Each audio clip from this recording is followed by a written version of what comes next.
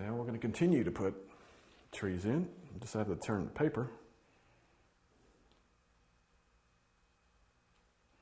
And we're going to put the trees in. But when we get down to about last eighth of an inch, we're going to leave that for the detail brush to get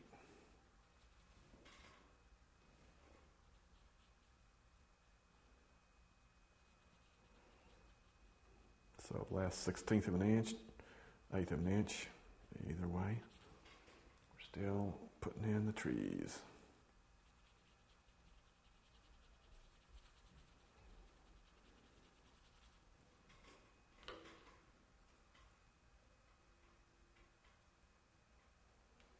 So it's going to be phthalo blue, phthalo green, and Payne's gray.